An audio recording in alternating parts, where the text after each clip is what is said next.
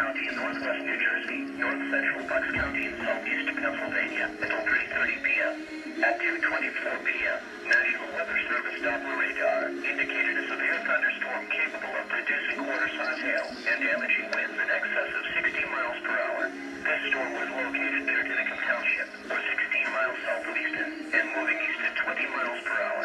The severe thunderstorm will be near Irwin, Wyoming, Lumberville around 2.30 p.m., Frenchtown around 2.35 p.m p.m. Sandbrook and Sergeantsville around 2.50 p.m.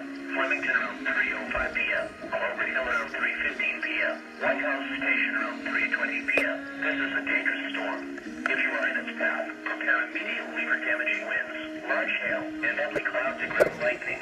People outside should move to a shelter, preferably inside a strong building, but away from windows. Please report hail or strong winds to the National Weather Service by calling toll-free.